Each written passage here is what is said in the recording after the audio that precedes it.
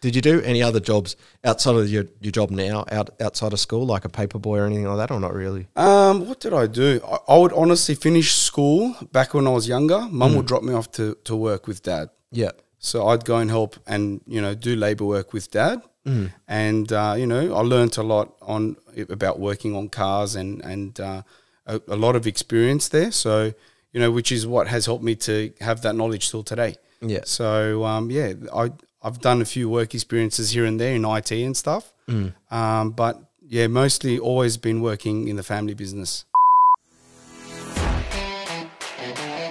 Go, go,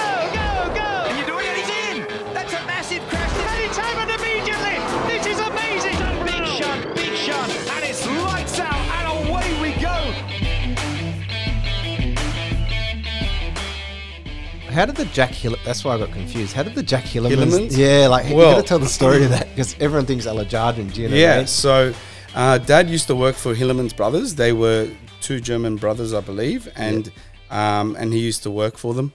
And obviously, they came to uh, you know finish up one day, and and Dad's taken over, and um, and he obviously I don't. He's kept the name Hillermans, and um, yeah, he's he's called it Jack Hillermans. Yeah. And yeah, he's been running the business over forty years now, and grown it to what it is today. Yeah. Is it? I can't remember how big. Is it as big as the other ones in Artana? Like, or do you are you kind of like like a squared? Do you know what I mean? Because there's those big Subaru ones. How big's your one? Because our Well, well, we are we're a, we are a Subaru repairer, bad Yeah. repairer. So, um, you know, we do we do a fair amount of work. Yeah. So we are a decent sized workshop, I would say. We're one of the bigger ones. yeah. So um, yeah, so we've been around for a long time too. So we need to grow, I guess, and um, and yeah, we need to try and accommodate the amount of cars that get damaged, Yeah. which is a lot these days. Yeah, yeah, yeah. And you, you obviously were racing Subarus as well in your production car days, weren't you? Yeah, yeah, that's you know, I would probably say um, Subaru has helped us in many ways. Yeah. within motor racing, with business and everything. So, um, it was uh, Scuderia Veloce Motors. Yeah. who Daz was friends with, very close friends with Bob Atkins back in the day. Yeah. which when I did compete in the Subaru Liberty, um, that was in memory of him because Bob helped us out, um, you know, with getting the car and and getting us sponsorship to run the car and so on. So um, yeah, Bob Bob later got sick uh, with cancer and passed. So we raced in memory for for Bob and we won the championship, which was a great feeling. Was that wait? What were your numbers in karts? It was twenty. Was it twenty seven then forty three? In in karting, Yeah. I had seventy one. Seventy one. That's right. yeah, Yeah. and and I think I had twenty seven as well, yeah. and nine. Yeah. Yeah. That's right. Yeah, I'm trying to think of all the numbers. Yeah. you go through the eight. Like I've gone through my own numbers, but yeah, Yeah. you go through the stages, and then and then the 43 was that due to Bob? I'm trying to piece. it. No, 43, I think was just the number that, because I think the other numbers that I did want weren't available. Yeah. So someone else w- had that number. So I couldn't take that same number on. Yeah. So unfortunately, we had to, I think we were left with 43. Yeah. Yeah. Yeah. so there was no meaning behind that number, no. Yeah, I've got to get into a hot take here though. Like, obviously, we're talking about the like, um, like how different our era is to the modern era of racing. How we've got like, you know, we had the obviously the older guys racing and whatnot, and then the younger guys and all sorts of things. But back when supercars, when you were racing, you had forty five guys on forty five cars on the grid, and Yes. now you have like mate, they barely make fifteen. Yeah, yeah. And and you were saying, I- of yeah, you were saying yeah. the pro car community how it was tight. There was big cars, but now they're just struggling because it's so monetized and commercial. Yeah, Do you know what I mean? You're definitely right there. There's a shitload of cars back in the day. Yeah. And, you know, it was always panel beating. Yeah. Which is where Jack Hillermans came to to aid. Yeah. And um, no, it was it was crazy. And and you look at it now and, and yes, the number numbers are lacking. Yeah, Um, but look, I guess it, it is an expensive sport, and you know, you you want to see more people on the grid. You want to see more action. Um, you know, just like like it was back in the day. Um, yeah, it was so memorable um, in terms of how many cars there were on the grid. But um, yeah, unfortunately, it's not the case today. no, no, and there's so much. Yeah, and it's it's it's just different because you've got you know. 20 guys and, and also they have the, the grid numbers too like a rec system on each in each grid number where before you could just literally use yourself buy a privateer team and come on the grid and you could just race Yeah, no, it's um, it's um, it's like it's crazy. It's crazy how much has changed. yeah It's dramatic. Yeah. What do you think of the whole TCR series though? We're talking about the Procar stuff, the the, the TCR Do you, do you like the TCR S five thousand thing, or do you just, do you just think it's not? Look, I haven't been to an event. Um, I think there is potential there for sure. Uh, I, I am going, I believe, next month in Bathurst, right? Yeah, yeah, yeah. Bathurst International. Yeah. yeah, yeah. So I'll, I'll be going to watch. Um, so I'm, I'm pretty close um, with a, a friend of mine who, who runs a, a Burson fran- franchise. yeah, okay. And I think uh, Bargwanna is one of the drivers. yeah, Ben Bargwanna, Yeah. Jason's son. Yeah. Yeah. So um, yeah, so we've got some tickets to go and and suss it out. So we'll make a trip of it, and you know, I think they're cool cars. Look, I go, I date it back, or you compare it to the British touring cars back in the day. Yeah. You know, if you can get it, you know, tight tight knit racing like that, Mm. I think you'll have good competition, good entertainment. It'll be good value. Yeah, So um, yeah, I'll, I'll check it out in a month's time. at- Yeah. You know, when I head out to the event, Bathurst again. Yeah. After all these years not having having gone and going twice in a month, pretty much. yeah, So um, yeah, I look forward to it. But I think I think there is good potential there. yeah. What encouraged you to get like? Obviously, you said you've been hibernating and doing your own thing for like ten years. To go to just go, oh, fuck it, I'll just go to Bathurst two years in a row. Do I don't know. mean? I guess I guess settling outside of the motorsport life. Um, you know, having a family now, three kids in. Yeah. Um, lack of sleep. Yeah, um, you know, all of the above. But I think it's trying to experience that with my boy, yeah, you know, like dad did for me. So, you know, I, I have those memories with dad going out to Oran Park, watching the truck racing, the bike racing, whatever it was. And, um, you know, having that experience and, and um, doing it with my boy would, would be one of the best assets to me. yeah. So, you know, I think that's why I've settled now a bit and I can try and find that time to go and do these things. Yeah. I, I got to ask for myself because Brooks seeing this transition with me, tin top and open wheel. What was your preferred car? Did you like the tin top racing or did you prefer the open wheel of the Formula Three? you know i i i, I just i can't compare them Yeah. because it's they, they are different from one another Yeah. so with with open wheel racing it was a different ball game as a and and same with um, tin top racing Yeah. It's you, can't compare it i don't know how you can draw the line and go you know i i like this more i like that more i like a good competition you know Yeah. in I loved Formula Three. Um, that was awesome. You know, it Mm. was a good good um, a good crew of people in, in, in that category at that time, and um, you know, I had some close racing there, Mm. Yeah. as well as the mini challenge series. I think Yeah. one of the most um, most Underrated. yeah, it is one of the most underrated and one of the most challenging categories I've ever competed in. It was much like karting, right? It's, Yeah, right. It's just like you know neck and neck racing. It's it's so close. It's it's like a big go kart, really. Yeah. Um, so I, I really enjoyed that. Um, yeah, that was Can pretty you, cool. can you touch on more of your time then in the mini challenge then? Because obviously I only got to see glimpses of it. Yeah, Because yeah. I was, I just was, I don't know what I was doing at the time, but I remember seeing it at the AGP when you were winning there and doing all that. But that, as you said, it was like an underrated category, which is now kind of like the Toyota 86 series. Do you know yeah, what I mean? yeah, Yeah. correct. I mean, look, there's there's a few Toyota 86s around, isn't there? Yeah. So, um, you know, the minis were just like real, real good fun. Like it was so competitive. Um, I mean, if you ended up winning the race as well, you get your ballast. Yeah. I think it was 50 kilos for, for first place. Yeah. And 25 and then 15 kilos for second and third. So uh, it, it was such close racing and it was just pure racing.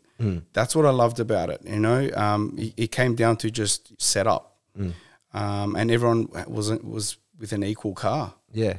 Oh, yeah, that's right. Because it's like Carrera Cup and Toyota 86. Yeah, you just yeah. had to work on the car constantly and Yeah. the ballast thing. And that's right. You get BOP. Well, that's what it's called now, essentially. Yeah. You Yeah. get BOP. So you'd, you know, compare cars and all that type of thing. I remember that. Yeah, yeah. Yeah. So is you know that weight really would would affect you. Um, but now I just I, I carry that factory fitted. Um, being being a dad now. Yeah. So um, yeah. So I probably wouldn't need any ballast. Yeah. What's it like being a dad though now? Like you, you're comparing different lives. Essentially, you're like a now a full time dad and you Yeah. know, f- a family and a businessman. Yeah. To compare to your race days, do you do you still get enjoyment out of watching cars? Or you just like the dad life and watching it? Do you know what I mean? No, look, I, I definitely do get the enjoyment. I, I feel like if I do put my bum in a race car again, I don't think anything would have changed. Yeah. Um, so I, th- I think that competition side of me is just in my mind. Um, I'm, I've always got that. That'll never go. So I, I'm a competitive person in general in life, and I think a lot of family and friends would agree with that. Um, but you know, it's um, it's it's it's hard to kind of you know move away from motor racing. It's it's um it's it's kind of upsetting because you've been there for so long. It's such a roller coaster. You get so many mixed emotions. Uh, you meet so many interesting people. Um, yeah, so it, it hits you in certain ways. Yeah. But um, yeah, I, lo- I love motor racing. It's it's always going to be part of me. Yeah, yeah. And I've got to ask, just from a personal point of view, and Brooke's seen it many, many times. You kind of get stuck in this like loop where you don't want to leave, but you want to leave and do. Do you know what I mean? Like, how did you kind of go? You know what? I've had enough. Yeah. Like you could have continued on technically at a state Yeah, level or yeah. something like. But when did you, when did you think? You know what? Hey, it's time to give it up and look towards a new direction. Um, Just for like my own advice, and even Yeah. for people listening who might be stuck in a loop doing the same thing on Yeah, and on and on. You know, what I mean? Look, I, I could have carried on. Um, I, I still can today. Mm. I think uh, I've got a lot of focus. Like I said, I'm I'm competitive in, in my in, in, In you know yourself. in my mind, right? Yeah, in yeah, myself. So whatever I do, I want to succeed in. So I, I look at business, I look at family business, and I want to put a lot of my my concentration and and my effort in that Mm. to to succeed. So i motorsport at that time of my life where I thought, you know what, I, I, it's not that I can't get any more out of myself as a driver. I've got to put my my head down and concentrate on what's going to be uh, giving me back more in this short term or in the long term, I should say. So I, I thought, you know, uh, putting my efforts into the family business would would help me and and everyone around me. Mm. And then obviously you were saying your son is also very keen on racing, but would you actually get him in, involved in karts? Or you're just going to like leave it, leave it to the sim and then see what happens? Look, I, I think he'll always want to do my head into to um, you know to get in, involved in karting and so on. Yeah. But you know, I'll give him an opportunity. Why not? You know, it's Yeah. he's got to learn racecraft in you know in a go kart. Um, you know, just he's got to do it because one day he's going to be driving a car, um, and whether it be his L's or whatever it is, you know, you want what's best for him. Um, yeah, so you just got to kind of lead him in the right path. Yeah. If, if he, I can't push him to do what I want, I'll allow him to kind of find his his his ground and um, take his own steps. I think. Yeah. I was, I was just saying, oh, I've said to many people with the closure of Wakefield Park happening, Yeah. um, and you were saying with your son, it creates this where do the, where do kids get to, to drive? And if they can't afford a kart, they can drive their road car on a, on a, on a track day car. Yeah, do you know what I mean? yeah. But now because it's so secluded with Eastern Creek, you can't do that. Do you know what I mean? So having having a kid buy a go kart, even though it's expensive and pricey, even at a junior age, it does help like myself and yourself learn about the road. Do you know what I mean? Like Yeah. taking less and less fun out of people driving creates just a, a stopgap, really. Yeah, and I look. I think they sh- the the government should be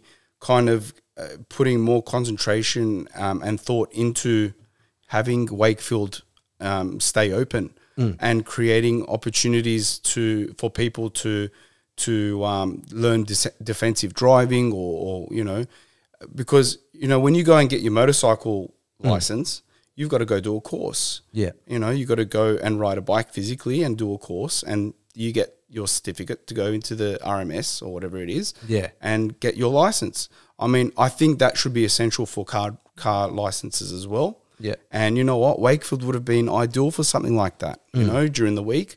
Um, it doesn't have to be noisy. Yeah. Um, Being a, but- elect- can be in a Tesla. Yeah. I mean, we're not far off having full electric cars for good. Yeah. Seriously, it's it's um yeah. What's your take on that though? Having like uh, like going from petrol, I can't get over it. Like I, No. I can't see it happening fully in Australia. Look, I think in, in 10 years' time, Yeah. we're going to see with fuel prices and everything going up, um, I think we're going to see more, way more. I reckon 50% could potentially be electric in by within 10 years' time, I, I would think. Yeah. Um, but look, I'm I love the smell of fuel. Mm. I, I I love you know smell of Yeah. you know going or the noise of, of going out to to the racetrack, hearing hearing the cars from a distance. You know, it's Yeah. it's Even your Audi out front, just that nice crispy sound. you yeah. know what I mean that's you know it's an era. It's the end. It's it's the last of an era, right? So Yeah. I'm trying to milk it as much as I can. yeah. So I will get that loud exhaust. I will have that valve open to listen to every, you know, Yeah. loud bit of noise out of that car. Yeah. Because you know, in a couple of years' time, that you know, it's it's going to be, um, you know, not a thing. Yeah, I was saying. Well, Brooke was actually saying to me a while ago with um, with the racing and, and the car scene. And she was like to me, Oh, you know, what's going to happen in 10 years, which is what you just touched on. I said, Hey, this is my hot take on it. They're going to have the hybrid V6 thing going on because Formula One, from what I remember reading, is they were going to, I think they were approached with Formula E to eventually merge. And then Formula One, Formula One told them, no, that's not the way because I think there's just not enough, as you said, even with like your business, there's not enough resources out there to, to contain that, that just that energy electrical thing. Yeah, to com- to accommodate it. Yeah. I think that we've also said there's a, like a big picture as well. Like there's a lot of people just want to kill it all, but who affords to just dump their car and buy a Tesla? There's Yeah. that question. Where do you put these cars that we're all going to like get rid of? That's the other question. Where does Yeah. that rubbish go? And then there's questions around. Um, we've been talking about the batteries. Apparently, like how much is like having to be mined to create these batteries is the other question, and is that counterintuitive to actually being less pollute, you know, causing less pollution. Yeah. There's also there's questions. I think Dan also told me that the fire said they can't put them out if they light on fire. Yeah. Have you seen those for, videos for online? 48 hours. Yeah. For 48 hours? Yeah, they, they well, I remember seeing some some um, some I don't know if it was a video or an article. Yeah, yeah. You can't you can't attend to that. You can't attend to the car for forty eight hours. You can't move the car for forty eight hours. What happens if someone's trapped in there? Well, no, you can I guess Get get, 'em the- out. Try and get them out. Yeah. Yeah, and I guess if it does come to that, you've got to do whatever you can. But Yeah. um, yeah, apparently you've got to leave the car there for forty eight hours um, because of the battery catching light again or So something. it can't like that. move at all. No. So what happens if it was like stuck on the harbour bridge? That's here? that's what I mean. I, I don't I don't understand. I don't know the answer to That's- it. I didn't realize don't- that. I don't know Yeah. how how um how real that is in terms of leaving it stationary there for 48 hours, but it's um but look, yesterday uh, I was just driving and I'm going I, I just looking out the window as I'm driving noticing Tesla, Tesla, yeah, Tesla. it's true. Yeah. And and that's just you I didn't notice that last year. yeah. But now, because of everything inflating and so on, it's just becoming so common. Yeah, there's a shift. Yeah, and Yeah. and you know what? If you do your math, right, it apparently costs like eight to twelve dollars uh, per four five hundred kilometers, Jesus. which is nothing. Yeah, right. We're just know? missing the infrastructure at the moment to, to, to charge Yeah, these things. yeah. We've seen some interesting things on the northern beaches. For others listening might not have seen people, and maybe other areas you're seeing this. There's someone I remember in Manly had the cords going from their house down through the front yard, across the street, and over I to their did see car. that. And Yeah, you're like, yeah, I oh my that. god, what are you Yeah. doing? And then there's like the power thing in the middle near a puddle, yeah. and you're just watching it going, oh, okay, we need to sort this out, guys. Yeah, that's it. we I need mean, charging stations on the street. Yeah, you can't go with a gallon of electricity, can Yeah, you? no. So unless I did see you, pretty clever. Yeah. I had I saw a video of a guy with the trailer and a generator on the back. Ah, there you go. So yeah. you know, charge as you go. Fill of, full of, fill, filled with gasoline. Yeah, that's it. Fill the gasoline defeats the purpose. Yeah, yeah. Like keeps him going. Yeah. You, but you obviously in the smash repairs business, surely Subaru and whatnot will be telling you what's coming ahead. Yeah, yeah. Look, we we get updated with um, with all the latest technology and and diagnostics and everything like that. So we get informed, and we actually do. Um, we, we go out to um, to these classes as well whenever they whenever they have something new. So they'll they'll invite us. So um, someone from from within our office will um, go and be taught all the new stuff. Yeah. How big is your actual like business? Like, how many people do you actually have staff working there right now? Uh, we probably have about 24 people. Yeah. Um, yeah, full time. So, uh, yeah, f- fair few people. Yeah. And um, we, uh, our premises is over three, three and a half thousand squares. Mm. So, yeah, and we, we still struggle for parking. Mm. So it's, it, it is becoming a lot more demanding. Um, so it's, yeah, it keeps us really busy. So Yeah. And that's why you say sometimes you're worn out going Yeah. from work to being a dad and That's it. It all catches up with you. And sometimes I'm like, oh, you know, if I'd stayed in motorsport, would, I- would I have gone that bit further? I don't know. Yeah. But um, probably probably not. Yeah. but, um, you know, I I don't doubt myself yeah. as a driver. Mm. But, um, you know, I, I have put my mind towards what I think in my mind is going to help me succeed in life. Yeah, yeah, yeah. And you were also saying with your f- like, sorry, I'll go back a bit. You, you, we were talking about a bit about your Formula Three days. Yeah. Um, you went from like the Subaru and all that type of thing to the Formula Three. how is that experience for like a driver who's who's just listening who might not ever get to experience that compared to like jumping because most of them now is what Brooke even says to me sometimes oh you hardly get any time because you're an open wheel car Yeah, yeah. to a tin top so everyone gets to most most people who are in racing you get to afford it can experience a tin top but for people who can't afford to hop in an open wheeler Formula 3 car can you explain just changing from like a tin top to an F3 car Look, it, it's so different. Mm. Yes. I mean, at the end of the day, the, the characteristics of each car is, is, is so different to one another. Mm. Um, it's it, it's like you can't compare them. Mm. But you know, as a driver, if you go out there and you you know you you put your mind to it, it's got four wheels. You just got to adapt to the car. yeah You know, you, you I guess experience will give you that you know that that that feeling of of how to control the car. So uh, it's just time, but you just got to put your mind to it and and not be afraid and just do it. Just do it. I, I don't think there's any other word I can. Yeah. Nike's got it down pat. Just do it.